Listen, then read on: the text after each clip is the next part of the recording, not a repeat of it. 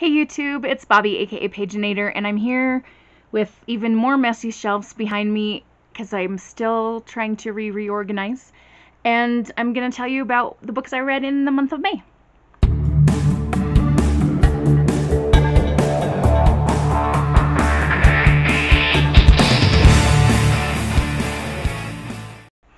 Um, first off, sorry for the hat. I'm not.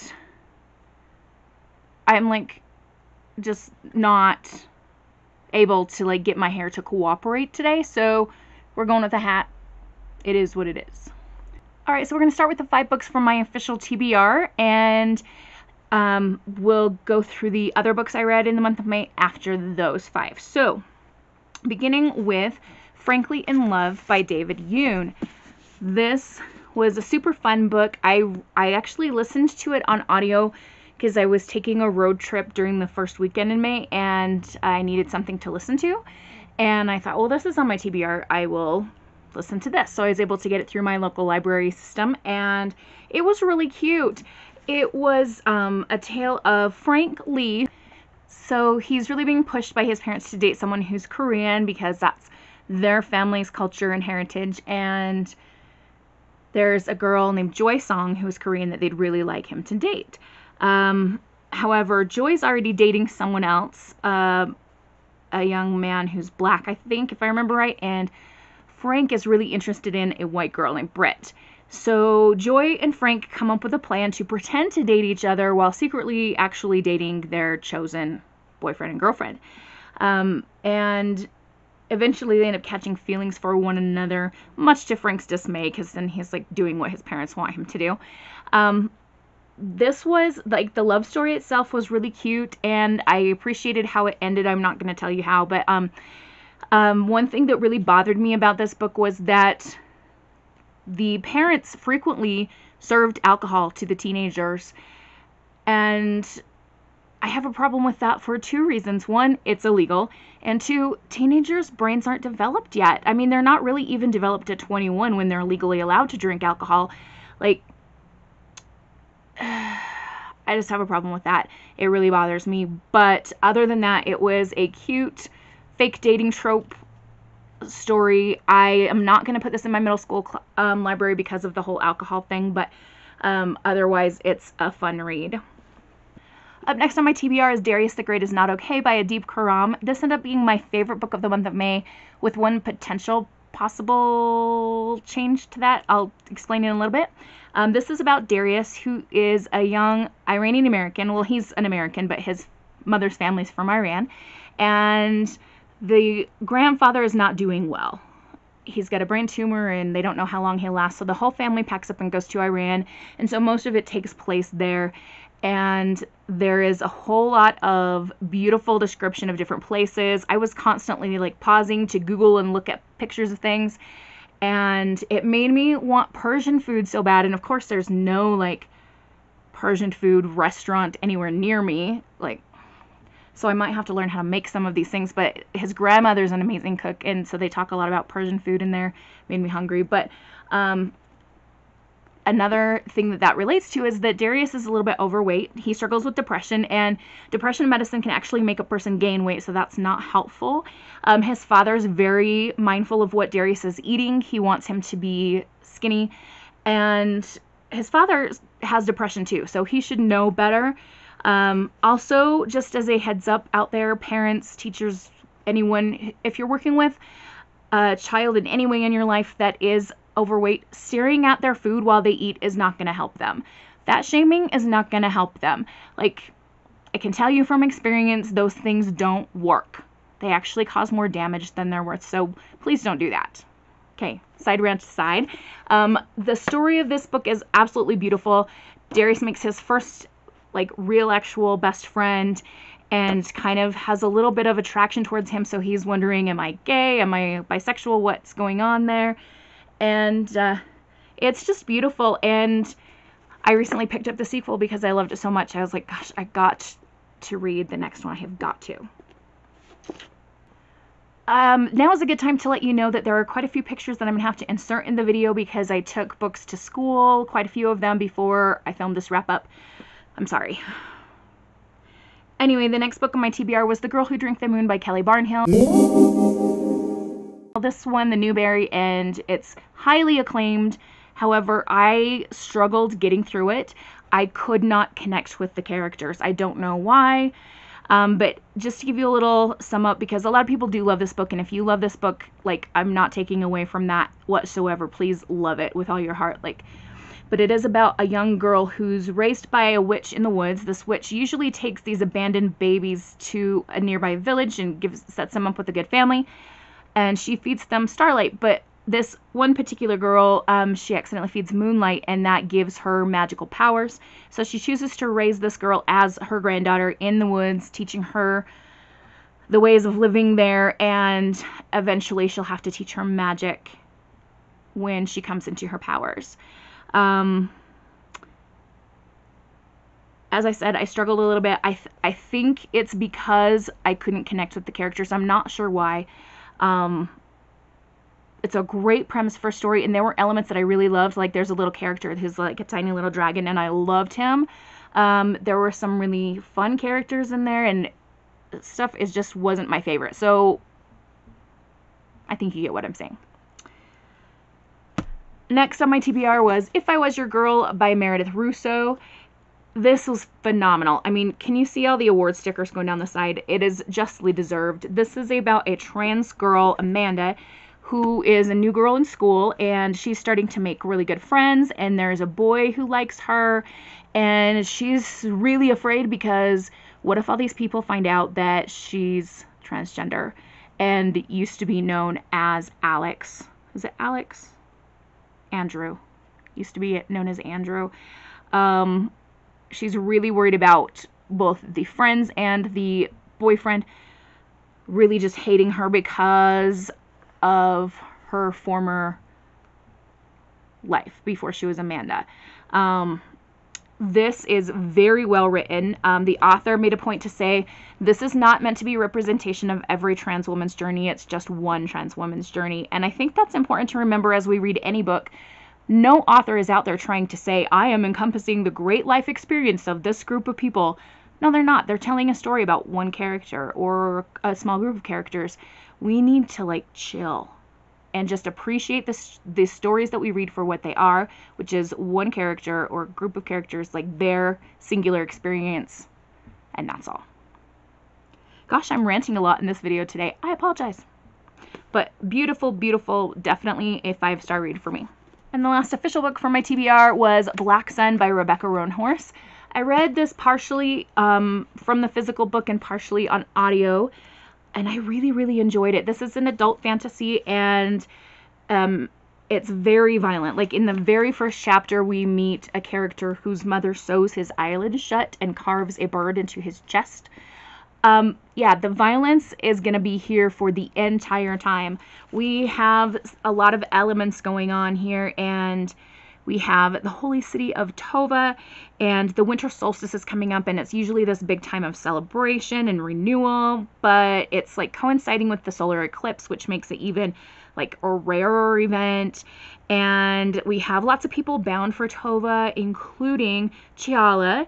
Um, she has powers that her song can calm waters, and she we get the idea that the the creatures or people from the Teek territory where she's from are very aligned with the sea and the magic and that involves the sea and its creatures and more surprises about that come out with Xiala during the course of the book which I won't explain for you right now.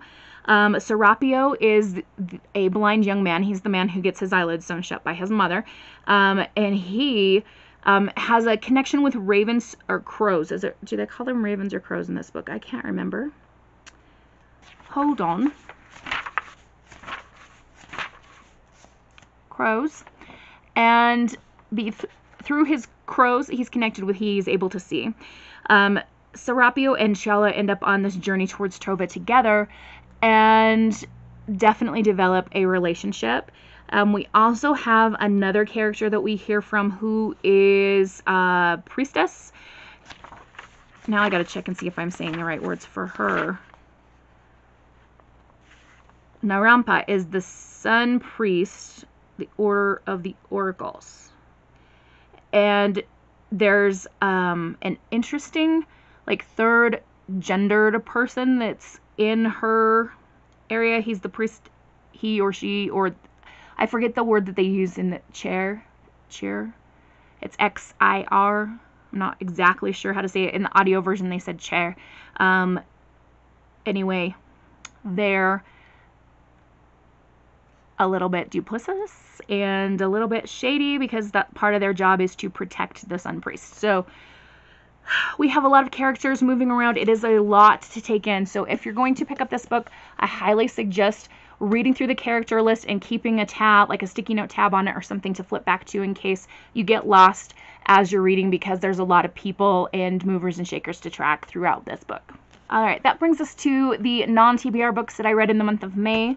We have Flamer by Mike Curato. This is a graphic novel, and I'll just kind of randomly flip open here to a page. Some of the pages have color, um, many of them do not. This is uh, about a, a group of boys who go to a summer camp, and it's between middle and high school. Aiden is our main character and he is really struggling. Um, he's bullied and picked on. He's called gay a lot. Um, and he spends time with Elias, who's a boy that he cannot stop t- thinking about. So this is kind of a path of self acceptance, self discovery, um, first crush slash first love kind of thing. Um, the I heard the author speaking about this on um, a Zoom thing. What was it for? Y'all West. And he said he intentionally gave it this title Flamer to like, because you know that. I don't know if. Ooh, how do I explain this?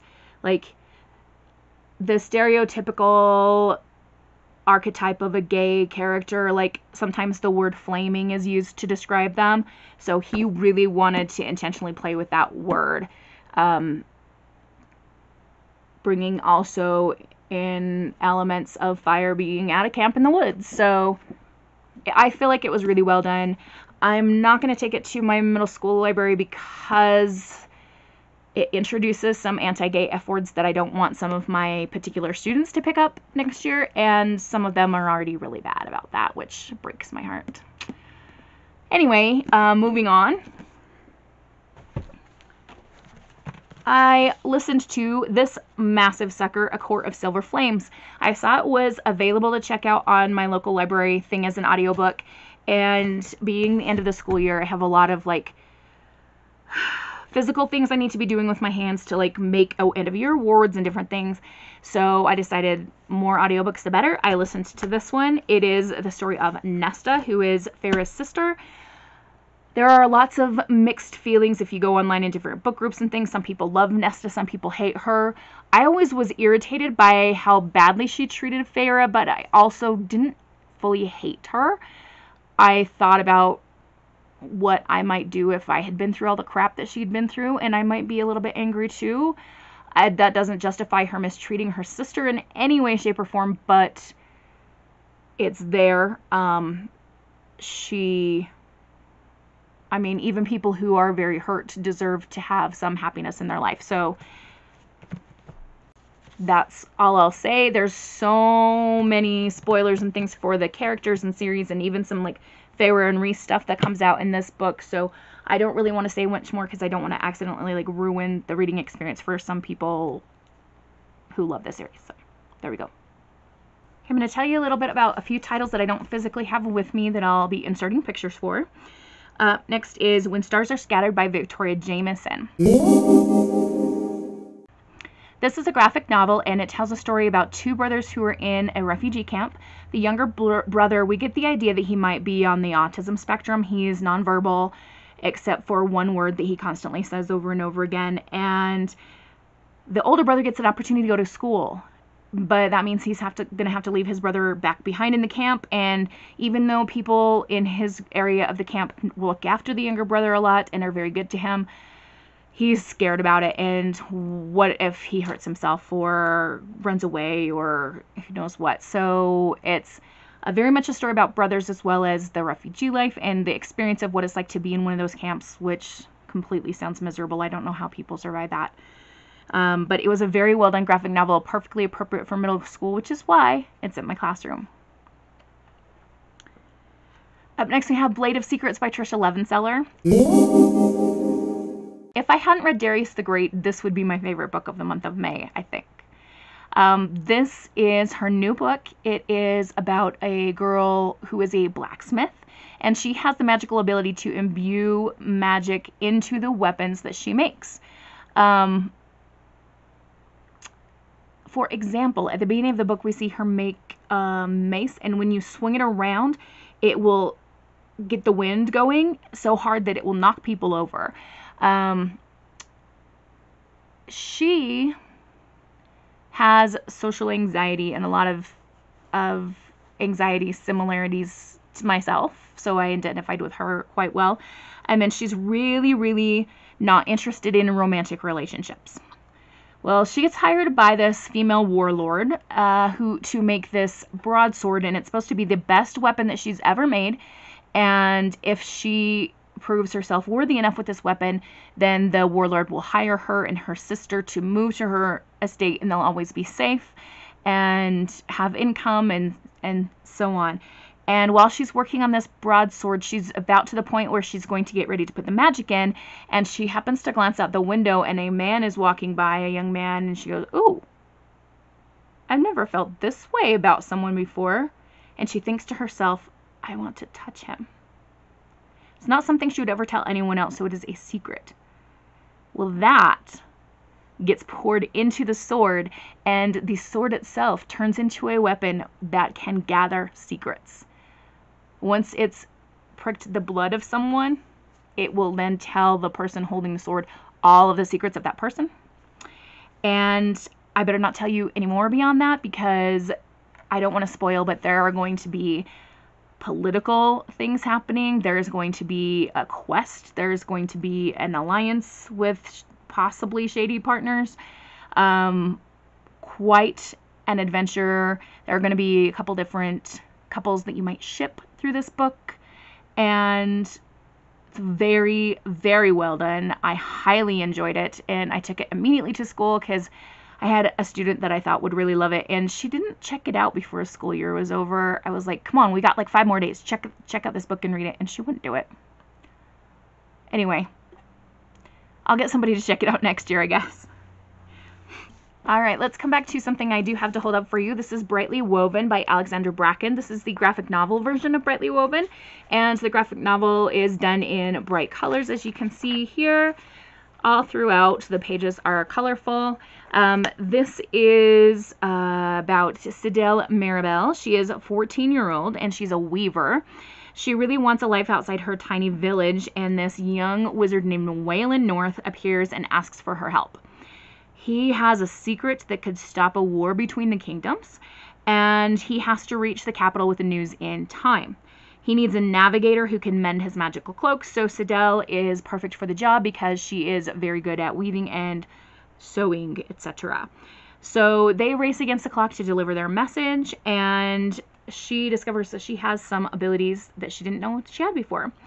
Um, this was recommended to me by one of my students, and the weekend that like she sent me a message, um, actually on this channel saying, "You should read this book." I don't know how she found this channel, by the way. I don't promote it in my classroom, but anyway, she said you should read this book, and I was at Walmart and I saw it sitting on the shelf, and it's like, oh, gonna get it. So I read it. It was pretty enjoyable. I never read the original, um, Brightly Woven, but of course it's gonna be the same story. Very interesting the way that they used weaving and um, fabric in the magic. I really enjoyed that part of it. So this will go to the middle school. I just haven't taken it there yet. All right, I've got two more that I don't physically have to hold up for you. I have I Think I Love You by Auriane Desombre.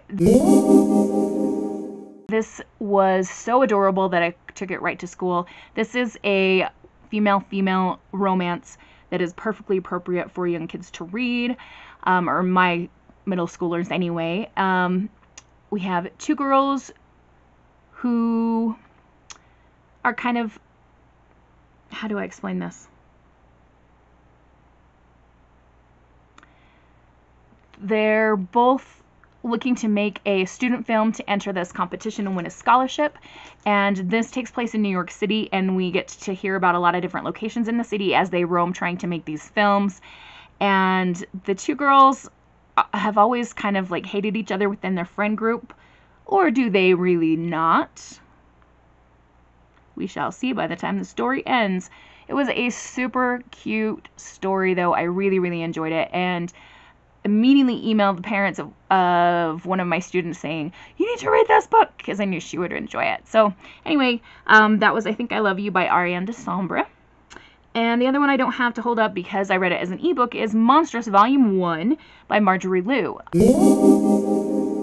Um, I was watching Jesse from Bow Ties and Books, and they recommended this series, and I went to my local library system online to see if I could check out the ebook, and they had it available. So I read volume one.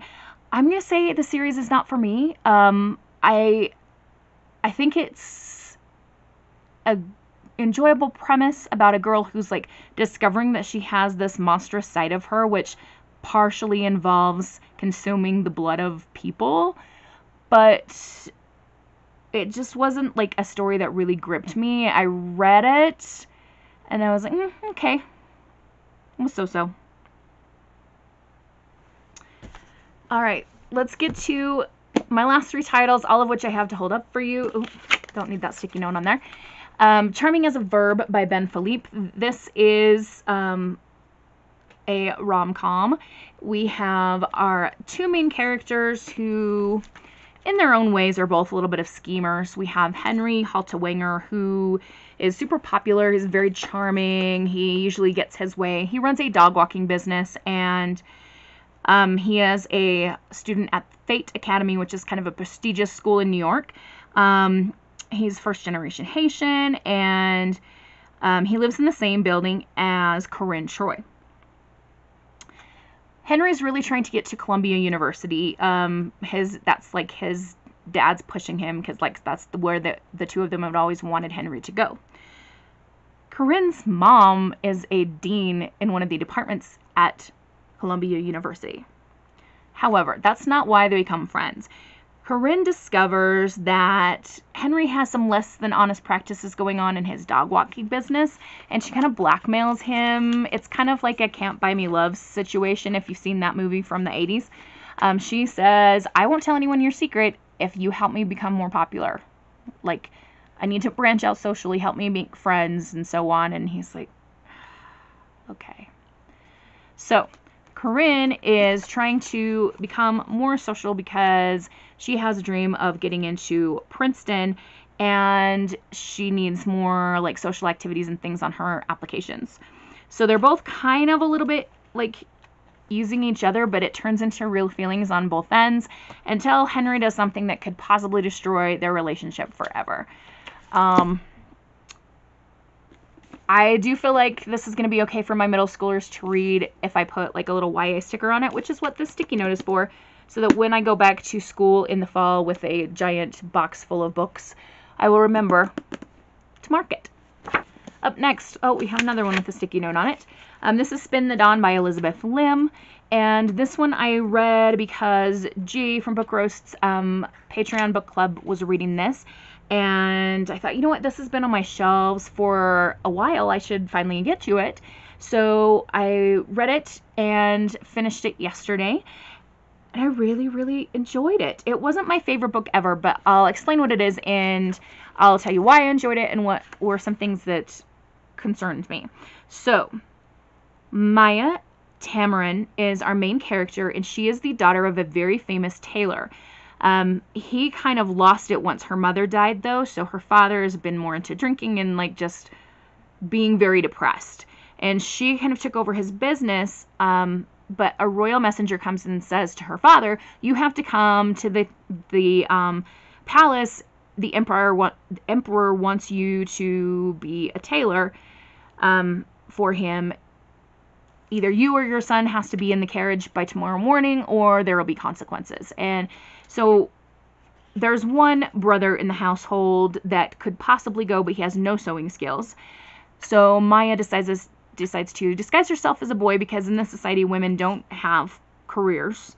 Um, and she is going to go. When she reaches the palace, she discovers that not only is this uh, really scary environment, but there's also a competition to become the Imperial Tailor. There are 12 other people, or she's one of 12 going for the job. So the first part of the book is kind of like a Project Runway competition. The Emperor is about to marry this woman from the Warring Kingdom, and if they can marry, then it'll solidify things and bring peace to the land.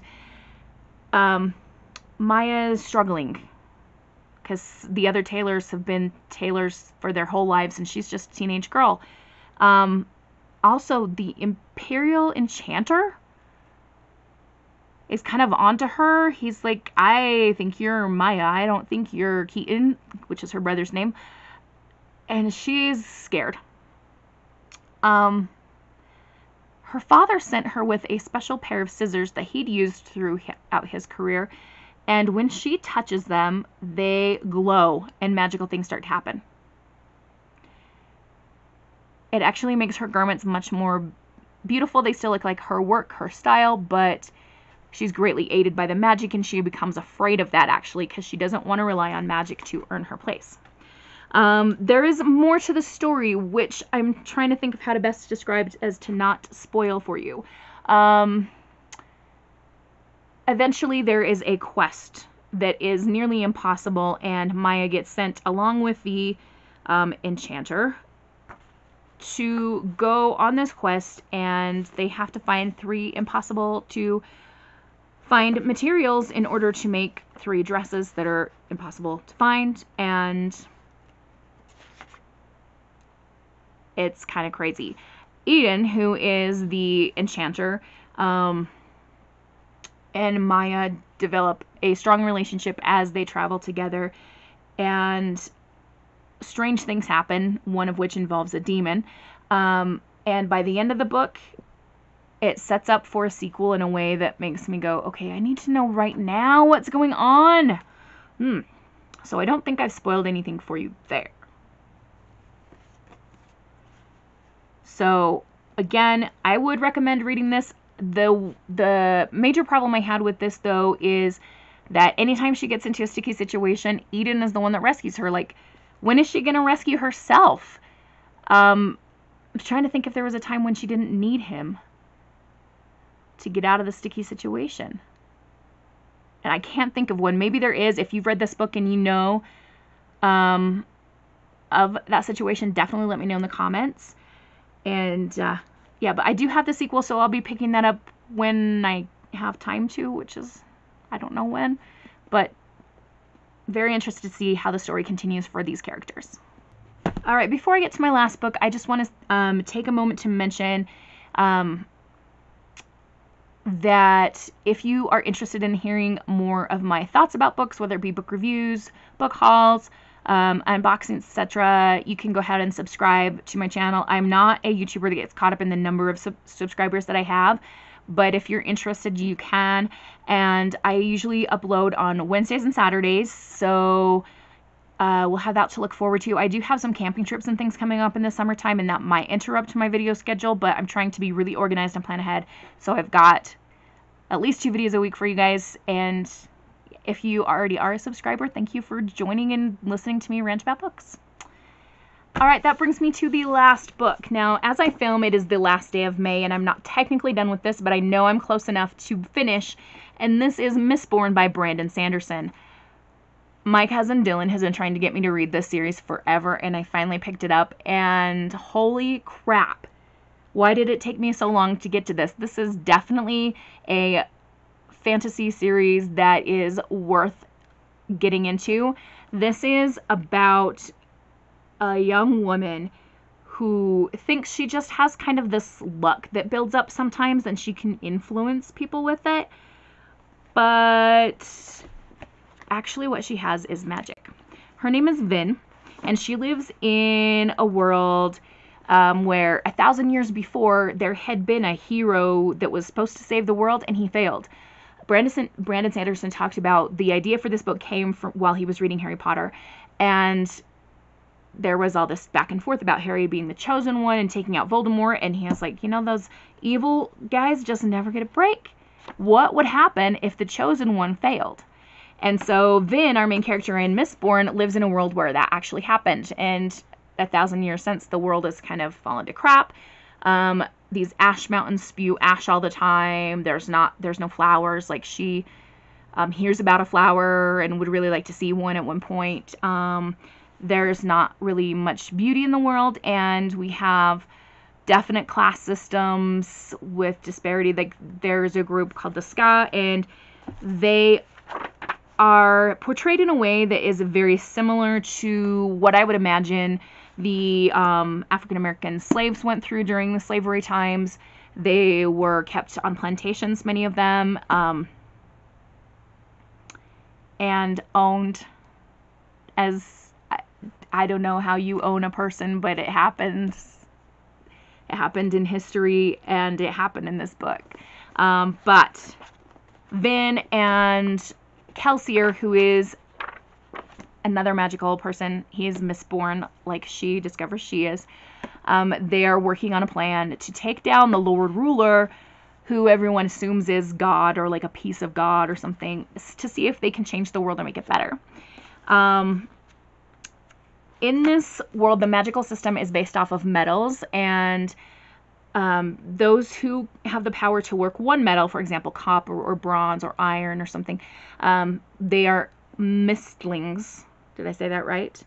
Um, someone will correct me if I didn't. And if you have the power to work all of them, you're mistborn. And so she is found by Kelsier near the beginning of the book. Kelsier's like definitely the leader leader of the uprising. He has been through some stuff, let me tell you. Um, and he's kind of training her in the ways of allor allomancy. Or is it allomancy? Allor this word is said a million times in here and I can't seem to find one of them. Allomancy.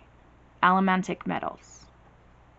Okay, anyway, Vin is being trained and she is also being taught to be a lady so that she can infiltrate in the elite um, nobility, go to the balls and things, and see what information she can glean there. Um, I am about 150 pages from the end, but as I said, I know I'm going to be able to finish today, so I'm still counting it as a finish for the May read.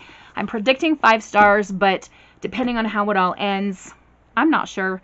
And that is the one caveat. Like I did say, Darius the Great is not okay, is my favorite book for the month of May, and I don't think that's going to change, but depending on how this ends, that could like make me love it a little bit more. However, in my May bullet journal pages on my favorite read of May. I already put this one in. oh, can I take a second to show you my June pages? I made them today also, and um, I like them. I'm doing a Gilmore Girls theme this month. So I always start with a quote. I live in two worlds. One is a world of books. That is a Rory Gilmore quote. And I have some Gilmore Girls stickers. This one says, Where you lead, I will follow. And we have Lane, Emily, Rory, and Lorelai up here. And a stack of books with a cup of coffee from Luke's. And I have a calendar there for June, and every day that I read, I get to color in a dot. And so far this year, I've read for fun every single day. I know I can't believe this. My next two pages are TBR and haul. So I will be writing down my June TBR books. Um, you saw those in my recent TBR video. Um, and any books I haul in the month of June will go here. This page I themed for Luke and Lorelai, so I've got a bunch of Luke things here. A quote that says, I'm fine, I'm great, it's a big, fat, happy sunshine day for me. Poor Luke. The next pages are my June stats. So at the end of the month, I will tally how many books and pages I have read. I will write down all the books that I read in the month of June and I kind of overkilled with the stickers in this one. We've got Coffee, Coffee, Coffee, Dragonfly Inn. This is their house. We have Lorelai and Rory, Lorelai and Rory, Lorelai and Rory. And then on this one will be my favorite June read, and I've got Lorelai, um, or not Lorelai, Rory, and her Chilton uniform and a Chilton sticker, and then this one that says stress level, Paris Geller. Paris is just stressed all the time. We've got Rory and what's his face with the umbrellas. That's True Love Ace. And Rory, Lorelai Lane, Paris, Emily, and Sookie. Why can't I ever remember that dude's name unless I'm watching the show? I haven't watched that show in a while. Maybe it's time for a rewatch. Anyway, wow, that was, this has been a long video, you guys. If you've hung in there with me, comment in the space below with like a little animal or something just for fun. Um, let me know how your reading went in May. If you made it through like one book, good job. If you made it through a bunch, good job too. Like whatever you did is awesome. Um, I am now officially out of school for the summer and it's time for me to go do some June reading. So, got to go finish Mistborn today and then I'll be on to the next one. Have a wonderful and bookish day. Happy reading. Adios.